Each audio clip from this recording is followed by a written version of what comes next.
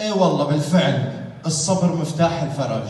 عود خلينا نشغلنا نفس أرجيلة ونقعد بالبيت نسمع ام كلثوم ونستنى الله يفرجها. مو هيك كمان؟ أنت بدك تشتغل وتركز وتسعى. لأنه تسعة ونص بيسكروا. بدك تشتغل وتركز وتسعى لحتى تحقق نتائج صح؟ صح. فبدك تشتغل من قلبك وتعطي بكل ثقة. وشو تكون؟ تكون صبور. ليش؟ لأنه هذا العمل بده تعلم. والتعلم ما بيجي بحبة.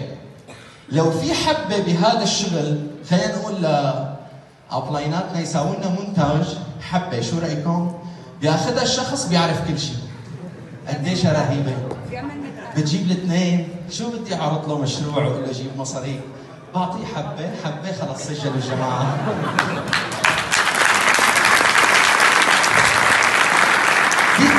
حبة عيارها اتقل هي تبع الليدرات بتعطيه حبة بصير leader تمام؟ في شيء اسمه أبرة ال max out بتعرفوها؟ ما في هيك شيء. كل شيء شو؟ بده صبر.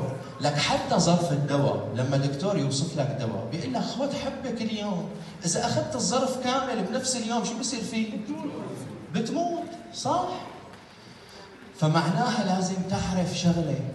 بدك تتعلم بدك تصبر بدك تستمر بدك ما تروح لقاء بدك ما تروح مؤتمر.